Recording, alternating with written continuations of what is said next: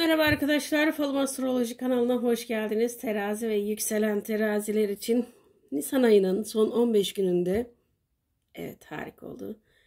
Neler yaşayabileceğine hep birlikte bakacağız. Kanalımızı beğenmeyi ve abone olmayı unutmayın diye hatırlatmamızı yapalım. Şimdiden söylüyorum bakın unutmayın. Ee, örtü önemli değil. Çünkü her seferinde yıkandığında temizleniyor. Gidiyor lekeler korkmayın. Ama bu dönem özellikle yurt dışı konusunda yapacağınız bir şey varsa kısmetinizle, valizinizle toplayıp gidiyorsunuz gözüküyor. O anlamda da e, sizin için kocaman bir değişiklik var demektir. E, bir süredir beri hayatınızda bir şeyleri e, yoluna girdirmek isterken hep bir erteleme yaşadığınız konularda hızlı bir toparlanma yaşayacaksınız. O anlamda da buradaki dağılan hani dört yapraklı yonca gibi açıldı. Dördüncü yaprak özellikle büyük bir para gelişi veya parasal anlamda kendi işinizi kurma konusunu gösteriyor. Bu ön e, anlatım için oldu. Biraz değişik bir tavırda başladık ama spontane burası her şey. Ee, videoyu başından sonuna kadar tek parçada çekmek zorunda kalıyorum. Sadece hani e, ses değişimleri olduğu yerde durduruyorum ama hani edit yapma gibi bir durumum yok. Çünkü eksiliyor bir şeyler. Tam e, karşılığını almıyor arkadaşlar. Evet, şimdi yolculuktan geri dönme, bir ferahlığa çıkma durumunuz var ama bu yolculuk size bir şeyin geride kalması gerektiğini, artık bağların biraz daha eksilmesi gerektiğini anlatıyor. Aile konularında üç ayrı temel e, durum var. Bir miras konusu, hak ettiğinizi alma çabanız olacak. E, fakat buradaki tam olarak herkesin söylediğini e, görmezlikten gelme durumunuzda bir nevi vazgeçişinizi de gösteriyor. Hani evet ben en azından burada kırıldım o yüzden bu para benim için çok önemli de değil diyeceksiniz. Kısa bir yolculuk yapacaksınız. Burada isminde L veya M harfi olan bir kişiyle konuşmanız var. Bu konuşma sizin için hayırlı olacak. İş veya ortaklık söz konusu olacak gözüküyor. Giden bir kişinin geri dönmesi var. Özellikle e, ikili ilişkiler konusunda eşler arasında bir süredir beri sorun yaşanan konudan toparlanma durumu olacak. Bu toparlanmanın e, gerçekten olup olmaması size bağlı arkadaşlar. Çünkü bunun önünü kapatabilirsiniz, eksiltebilirsiniz bir şeylere. Artık hayatıma yeni bir dönem başlıyorum e, deyip farklı bir yöne yönelme yani ilişkiyi sonlandırıp kendinize yeni bir hayat kurma niyetiniz de olacak. Bu anlamda önünüz daha açık. Toplamda yani şu var şu anki ilişkiniz konusunda kendinizi tam olarak rahat ifade edemediğiniz için veya e, duygusal anlamda karşıdaki kişi sizi karşılayamadığı için buradaki huzursuzluğunuzun farklı bir boyuta geçmesini istememek için yani daha kötü bir duruma düşmemek için yön değiştirme durumu var. Bir süredir beri kendinizi başkaları için adadınız hatta e, belki de çocukluğunuzdan beri. E, şimdi bugünlerde kendiniz için bir şeyler yapmak istediğinizde sanki eliniz kolunuz bağlıymış gibi hissedeceksiniz. E, bu eliniz kolunuz bağlı değil. İnsanları kırmadan yapmaya çalışıyorsunuz ama değişim sancılı olur bunu unutmayın. E, bir şeyi bir günde yapmak mümkün değil. Birkaç ay gibi zamanınız olacak Önümüzdeki 3 ay sizin değişim sancılarınız söz konusu olacak ama e, dalgalı bir deniz gibi olacaksınız. Bu süreci atlatabilmek için bir süredir beri hayatınızda e, yapmak istediğiniz ama cesaret edemediğiniz konuya cesaret ettiğiniz için yalnız bırakılma duygusunu yaşayacaksınız. Şu var. 4 vakit sonra her şey geri yerine dönecek. Ee, bu 4 gün olabilir, 4 hafta olabilir, 4 ay olabilir. Ondan sonra sizin gerçekten ne hissettiğiniz, ne yaşadığınızı veya sizin bu değişime gerçekten ihtiyacınız olduğunu, bunun size iyi geldiğini ancak o zaman anlayacaklar. O yüzden şimdiden kimseden bir şey beklemeyin. Kendi hedefinize odaklanın. Çünkü geç kaldınız. Bazı şeyleri erteleye erteleye son güne bıraktınız. Şimdi kendiniz için çabalarken biraz zorlanacaksınız tabii ki. Ama bu zorlanmada etrafınızda 3 tane insan olacak. Bu 3 tane insan size destek verecek. Bunlar kendi kan bağınızdan bir kişi olacak, iki kişi de arkadaş çevrenizden olacak veya hayatınıza yeni girecek olan kişinin de bu dönem size vereceği destekler söz konusu.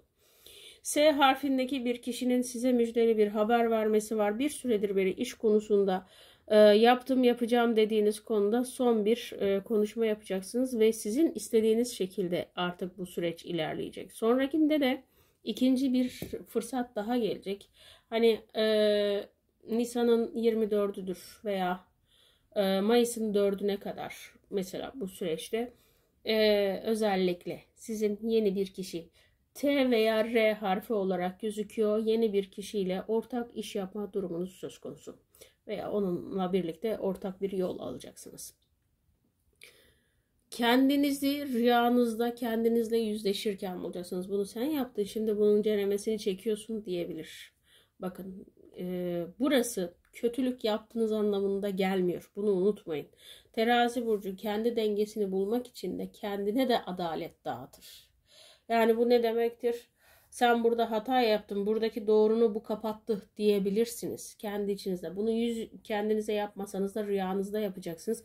Yani bu yüzleşmeyi normal hayatta veya rüyada bir şekilde yapıp yeni bir düzen oluşturacaksınız. Büyük bir balık kısmet var. Yani yeni düzen size gerçekten rahatlık ve konfor verecek. Bu anlamda iyileştirecek olarak gözüküyor. Kendinizi seveceksiniz, kendinize olan güveniniz artacak, iş ve kariyer konusunda adınızdan söz ettirilecek bir döneme geçeceksiniz. Yani insanlar tarafından daha çok bilineceğiniz bir sürecinizi işaret ediyor. Bir süredir beri e, planlar yaptığınız hani ama bunu nasıl yaparım dediğinizde bu önünüze bir fırsat olarak zaten size hani bazen bir sorunun cevabını alırsınız da tak diye bir yerden hani Twitter'dan veya Instagram'dan bir e, makale gelir önünüze düşer. Bunun cevabını verir. Bu tam da bu şekilde gözüküyor arkadaşlar. Cevaplar önünüze gelecek. Siz yeter ki sorun evrende hani ilahi adalette Allah'ın e, takdiri de size zaten bu dönemi veriyor olarak gözüküyor. Yani bir kaderselliğin içerisindesiniz ve bu kadersellik sizin sorularınızın cevabı. Hani yumurta kabuğunu çatlatıyor. Yeniden doğuyorsunuz. Bu yeniden doğarken tabii ki ilk doğduğumuzdaki gibi e, sıfırla başlamıyoruz. Birle başlayacağız. Bu da demektir ki sizin tecrübeleriniz size yeni kaynaklar açmanıza fayda olacak. Para akışınız hızlanacak. 3 ee, aydan beri yaşadığınız sıkıntıyı bir anda toparlayacaksınız. Özellikle bu bayram e, arkasının hemen e, sürecindeyiz zaten.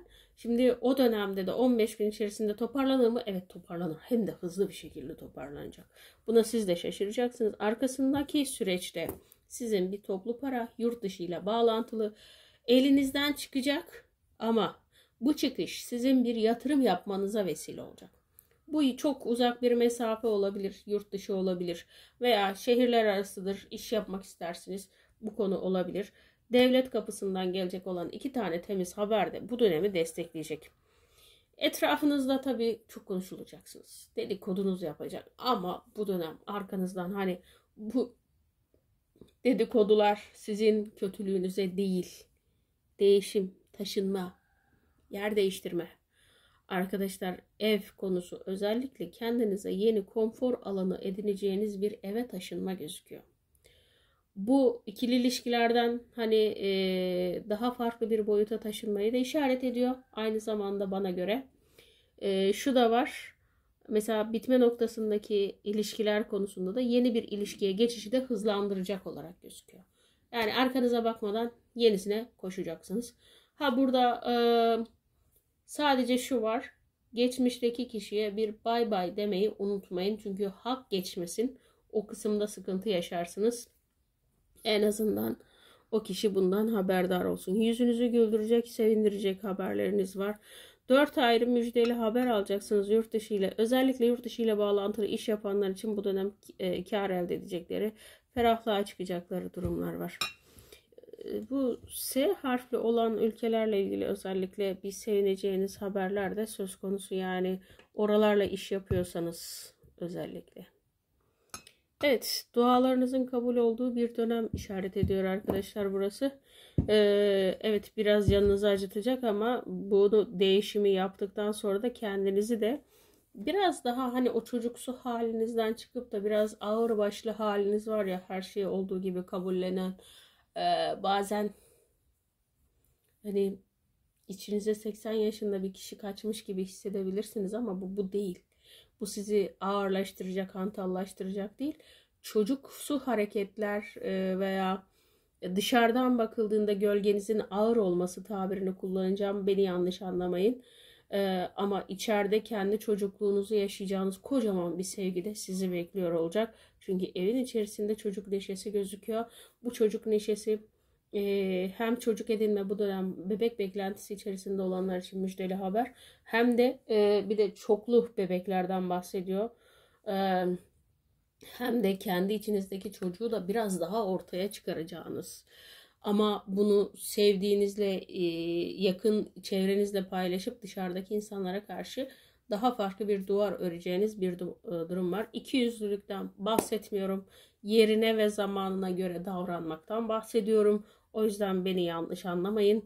Ve tek bir maddiyat konusundaki dileğiniz var. Hızlı bir şekilde çözülecek. Hızlı bir şekilde yapacağınız bir yatırım var. Ve bu yatırımın katlanarak, büyüyerek size geri gelmesi gözüküyor. Bu da sizin mucize kapılarınızın açık olduğu. Ki dolunay enerjisi zaten sizdeydi. Bunu güzel kullanın arkadaşlar. Çünkü burası size kapıları sonuna kadar açacak gözüküyor. Evet benim söyleyeceklerim bu kadar. Terazi ve yükselen teraziler için Nisan ayının son 15 gününde neler yaşayabileceklerine hep birlikte baktık. Kanalımızı beğenmeyi ve abone olmayı unutmayın. Tekrar görüşmek üzere. Hoşçakalın.